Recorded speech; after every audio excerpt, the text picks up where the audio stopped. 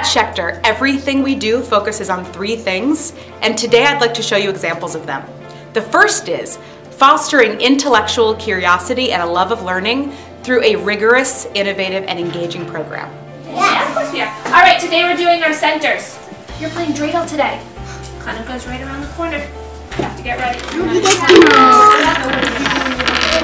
Oh, sorry. Gimel. Today, we are going to make our own story problems.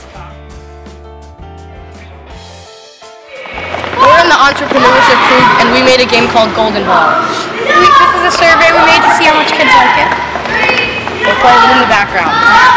What you just saw in Mrs. Quinn's class is a great example of a differentiated lesson that was highly interdisciplinary. In this case, between Judaics, Hanukkah, and General Studies math.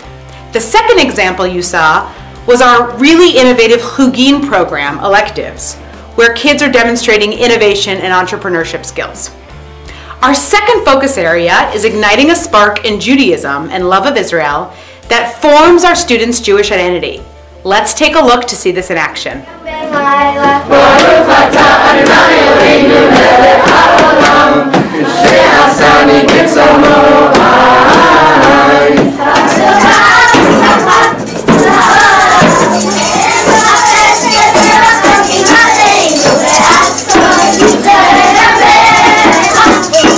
An amazing way to start the day. Our third focus area is fostering a caring, collaborative, and joyful culture and community. This year we focused on a social emotional curriculum that you'll see live happening in our pre-K class. This year, the first night of Hanukkah was the coldest night yet, and the snow was deep. Jessica, Jessica, hi. Um, on the first night of Hanukkah, you only light one candle and the shamash on the Hanukkiah. Did you know that? Okay. So can you do me a favor?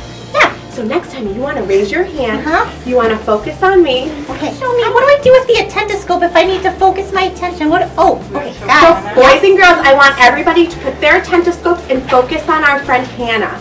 I am so proud of the magical moments that happen every single day for our students. There is no place like Schechter.